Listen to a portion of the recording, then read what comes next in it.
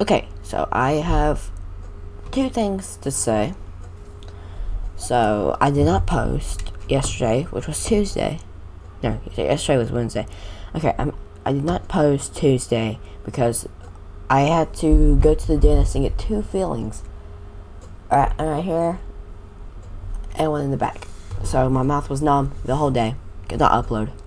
Wednesday, you know, I'm not gonna post on Wednesdays because you know church and all of that, and yeah. So, and my also my second announcement is that I changed my name on Rec Room. The username is now Reaper King VR instead of official Reaper King. So, uh, you can go add that if you like, and maybe you could play and record some videos together, like I did with my other fan. So, go add that and be in the video. Bye.